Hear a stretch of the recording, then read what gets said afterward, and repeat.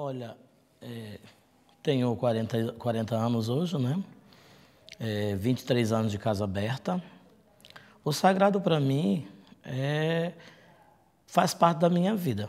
Né? Eu digo que se o sagrado não existisse, eu não existiria.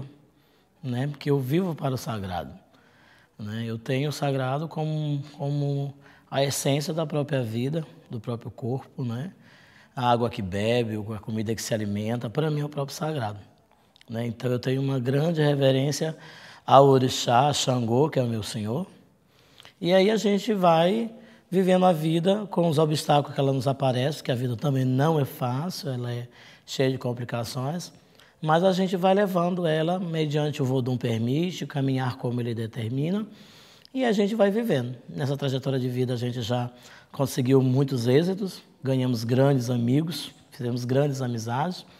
Hoje eu digo que é um momento que a gente começa a se destacar diante da sociedade, porque a gente hoje, é, pela, pelo, pelo religioso, hoje a gente faz parte de vários movimentos, né, da sociedade civil, do Fórum de Religião do Estado, de uma rede de saúde nacional das comunidades nacionais da matriz africana. E eu sou militante dessa briga. Então, a essência do, do espiritual para mim, né, de ser sacerdote, ela me leva a brigar pela minha casa, pelas minhas causas e também pelas coisas dos outros, né? Porque a nossa religião é uma religião afetadíssima com a intolerância, com o preconceito, com o racismo, né? Então a gente vem no, no decorrer dos anos é, avaliando, fazendo proposta, né, para que essa, né, essa, esse termo religioso ele seja respeitado, porque é, é, a gente não, não quer só tolerância, a gente quer respeito. Né? Então, o sagrado para mim é tudo. Né? Eu vivo, como falei anteriormente, eu vivo para o sagrado. Já minha família está dentro desse mesmo culto, eh, dentro do próprio sagrado junto comigo, e a gente vai levando isso. Com os sete anos, a gente deu o primeiro sinal de, do sagrado com a gente, foi com sete anos de idade. De lá para cá, a gente foi evoluindo até os dias de hoje. Né? Não, confesso que nos primeiros momentos não foi fácil, né? Dos colegas, da própria família, a implicância, a intolerância, os bullying que sofri vários. E aí daí a gente começou a amadurecer, a conhecer o sagrado, aprender a gostar do sagrado, né? Que eu digo que hoje é paixão para mim. Né? Eu digo que é, é, até a gente canta, muitas das vezes dentro de um culto mais aberto, a gente canta uma cantiga que, é, que se faltar a fé, né, que a predeira caia sobre nós. Né?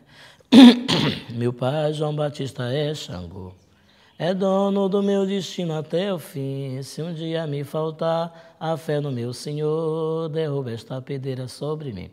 Né? Porque assim, a, o orixá ele nos prova mediante aquilo que a gente vive, mediante do que a gente vive.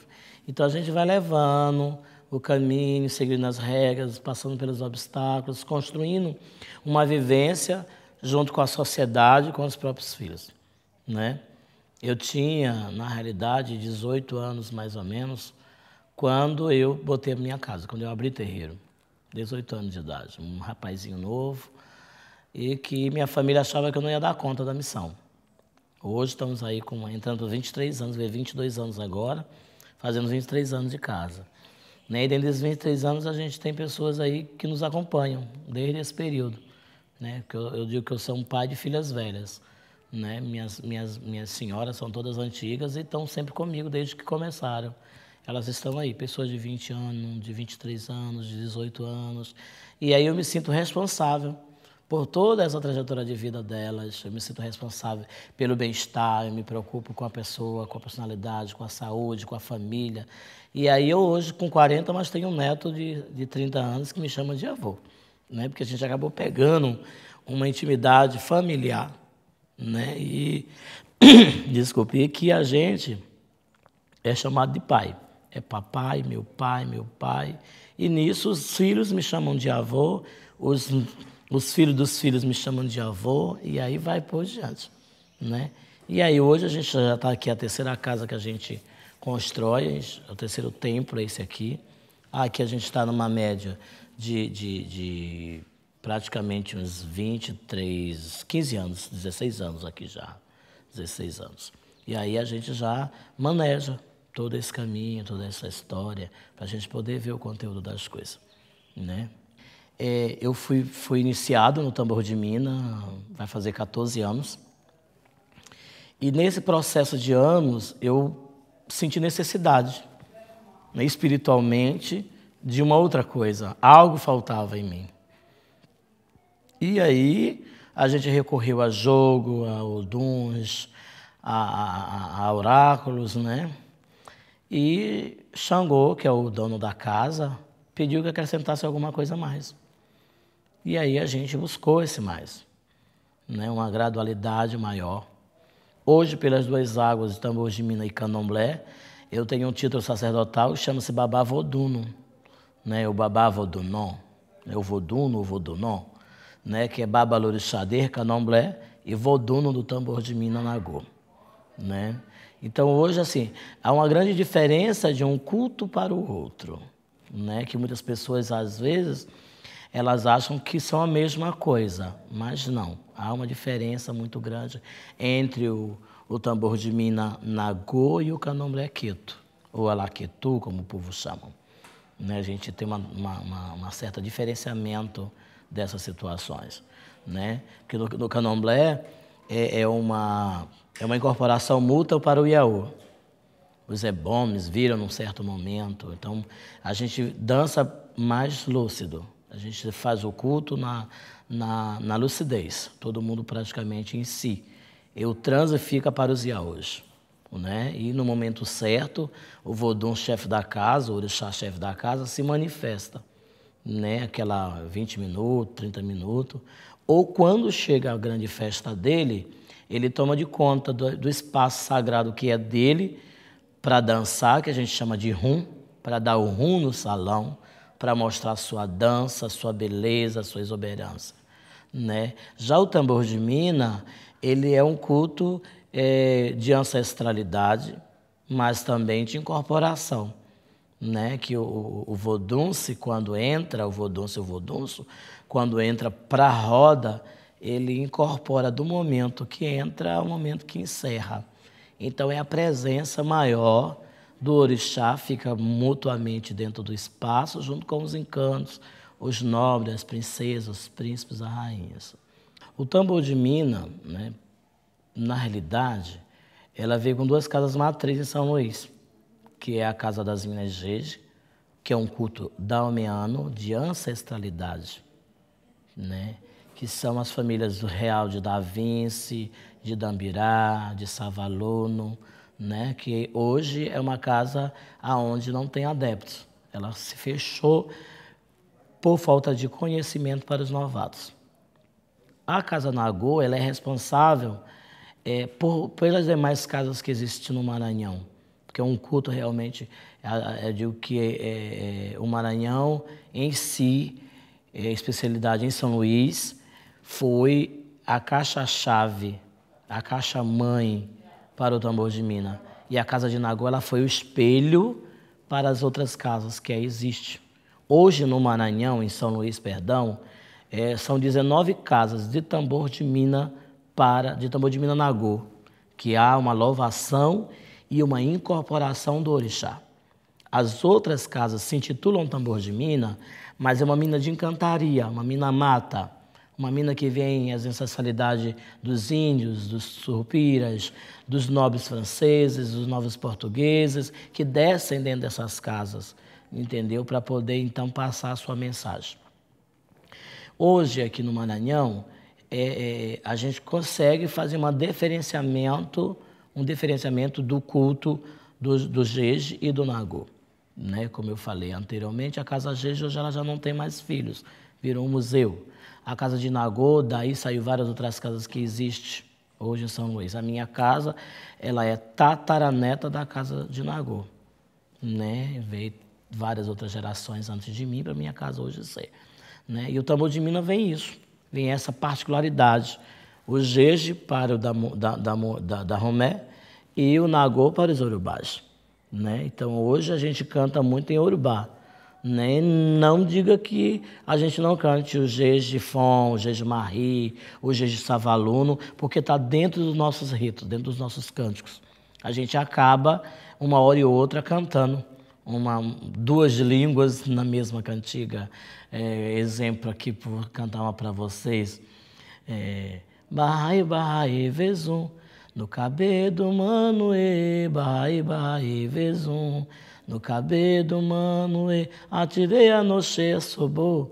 No cabelo humano, e barrai, barrai, vezum. É um jejifon misturado com um jejimarri. E canta-se também no savalão. Tudo ao mesmo tempo. Já o Yorubá, a gente já tem uma cantiga mais aberta, que é a nossa tradição, que é o Nagô, né, que vem dentro das nossas águas, da nossa raiz, que a nossa casa é matriz de raiz Nagô é, canta-se para a mesma orixá ou para Ogum, que é um senhor dos caminhos. É, Chamaru, Vodum, Chamaru. Chamaru, Vodum, Chamaru. Olha, Ogum tá de ronda. Olha, Ogum Egbó. Ogum Choroque, Ogum Chamaru. Quer dizer, é o Nagô dentro da, das casas de Nagô. Né?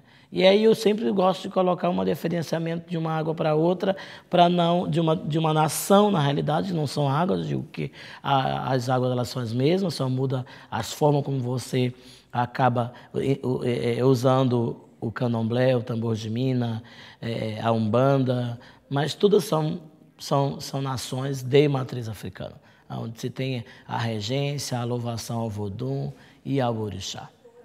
Né? Então a mina ela é, digo assim, a chave, o portal maior dentro do estado do Maranhão pelas duas casas matrizes, Casa de Nagô e Casa das Minas. Todas já casas centenárias, fundadas em 1888, né? todas duas nesse mesmo período, está aí com seus cento e poucos anos já de existência. Lamentavelmente, a Casa de, das Minas Geis, hoje, a última Vodun já se foi, foi a Denis Prata de Toilepon. E a Casa de Nagô ainda dá seus ritos, ainda, ainda tem as suas, suas particularidades. E aí fica para nós, que somos mais novos, brigar e levar esse tambor de mina para frente com a influência do ameríndio, com a influência do encantado, com a influência dos nobres portugueses, franceses, europeus, italianos. Aí a gente consegue manejar. Né? De terreiros no estado do Maranhão, eu chego, chego quase a 5 mil terreiros só no estado do Maranhão. De terreiros de matriz africana, seja ele de Umbanda, de Tericô, de de Candomblé, de tambor de Minas de Cantado, mas uma diversidade de casas que existem no Maranhão. Só nessa minha área aqui são 72 casas, 72 terreiros só nessa minha área. Aqui eu tenho três filhos de santo desta casa que já tem casa aberta, que vão estar mais tarde aqui, todos três. Né, já tem seu abacé, já tem seu cuê, né, que é o terreiro, já tem seu, seu ilê, e que já tem seu público, já tem suas, seus adeptos, seus discípulos, né, que estão levando tudo aquilo que aprenderam comigo, estão passando para outro, estão levando essa linhagem, para não deixar o quê? Essa tradição se acabar. É, é, é, eu digo que nós, sacerdotes e sacerdotisas, somos os primeiros terapeutas da comunidade. Porque se há uma briga de casal, a gente é aconselhado e aconselha. Se tem um, um, um filho na droga, a gente chama para o conselho e aconselha. Entendeu? Se tem um problema relativo à família, a gente também penetra, consoante o familiar permitir, a gente vai lá, dá, dá um apoio, dá uma conversa, tenta ajudar, joga, faz um odum de jogo, faz um cumprimento, um banho, dá um passe energético. Tudo isso ajuda a equilibrar o psicológico pessoal, amoroso, sentimental, financeiro dessa pessoa que vem procurar. Então, quando eu falo para você que o terreiro é uma inclusão social para a comunidade, não é um espaço de feitiçaria, mas sim de inclusão, é nesse momento que eu te digo que é isso. Por quê? Porque o, o, o sacerdote ele está nesse papel de aconselhar, de ser aconselhado e de aconselhar. Porque eu digo, não existe nenhum mestre, nenhum mestre é bom se ele não foi um bom aluno. Nenhum pai é bom se ele não for um bom filho. Né? Então, o papel do, do sacerdote na comunidade é isso. é instruir a sociedade, é apoiar a comunidade, os adjacentes ao redor do Ilê, os próprios que procuram o terreiro, né, que vêm com problemas seríssimos e a gente consegue, abaixo do vodum, do orixá, do caboclo, colocar aquela situação apaziguada, colocar aquela pessoa num problema menor, a caminhar numa forma correta, a deixar alguns atos para viver melhor, se redimir. Né? Porque no momento que o sacerdote ou a sacerdotisa, ele não abaixar a cabeça para a humildade, ele não pode levantar ela para ensinar. Ele não, se ele não for humilde para aprender, ele não pode levantar essa cabeça para ensinar. Então esse é o grande papel, a doação. Então o sacerdote ou a sacerdotisa ela tem que ter essa vocação de se doar para si mesmo, para a comunidade, para os filhos do Ilê, para a sociedade de modo geral. Não me esforço para ajudar ninguém. A importância é o equilíbrio do cosmos, o equilíbrio do mundo. Olha, dá só um exemplo para ti. A gente compreende que deu um, um tsunami. Oxum está ali revoltada com aquela cidade. Ela está punindo ela de alguma forma. Deu um tornado enorme. Oiá revoltada com aquela cidade por falta de fé da humanidade. Né? As, marés, as marés subiram tantos metros. Iemanjá, responsável pela poluição dos seus mares. Tantos hectares de terra pegou fogo do nada. Xangô, revoltado com aquela comunidade pela falta de fé. As cidades inteiras estão sem alimentação, Oxóssi. Olha, deu uma epidemia de, de doença numa comunidade inteira, é o Mulum. Então a sociedade ela, ela procurasse buscar o conhecimento do orixá, o equilíbrio do cosmos seria melhor, da sociedade seria melhor, do país seria melhor, os próprios regentes do país regiriam melhor, por essa finalidade, pelo equilíbrio que o orixá pode trazer para a humanidade.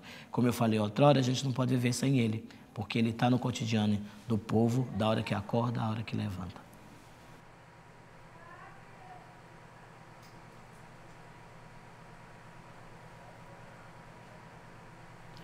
À noite, hoje, né, a gente vai fazer uma ritualidade é, aberta ao público, né, um toque para a família dos léguas, né, que é, é, a gente usa a família para desenvolvimento. Então, alguns abiãs que estão entrando no Ilê agora já vão receber suas primeiras entidades hoje. Né? Então, já tem um trabalho de preparação para se incorporar pela primeira vez, a gente para o salão para esse horário.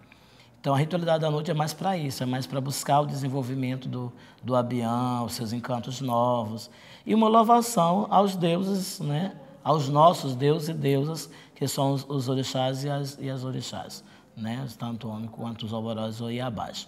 Né? Inclusive, hoje é um dia que a gente tem na casa a ritualidade desde que o sol nasce até o fim da tarde, que é um dia que a gente rende homenagem a Xangô e a Yansan, ao Iá, né? E a casa é de Xangô, e Oiá é a esposa de Xangô, então a gente acaba fazendo uma louvação muito grande a Xangô nas quarta-feira. Né? E a gente aproveitou para fazer essa homenagem maior, né? fazer o toque no presente de hoje, um presente aos encantados, aos orixás, a Oxum, a Xangô e a Yansan, que é a senhora do dia de hoje. Né? E aí a gente vai estar tá é, é, é, na indumentária da família de bandeira hoje. A gente vai estar hoje juntando Brasil e Itália junto, né, na marcação das roupas, né, mais a família de Légua que vai dançar. Embora a gente vai cantar para essas famílias hoje, né, mas quem vai dançar são o povo de Légua. Né, que, como eu falei anteriormente, é uma festa mais acelerada. Os cânticos são mais acelerados, a, a, a percussão deles são mais acelerada, né? A nossa religião ela é cantada e dançada e tocada. Né? Eu digo que o catolicismo ele, ele reza, o crente ora, nós cantamos, dançamos e tocamos. Né? O instrumento, a percussão, ela faz parte da nossa liturgia.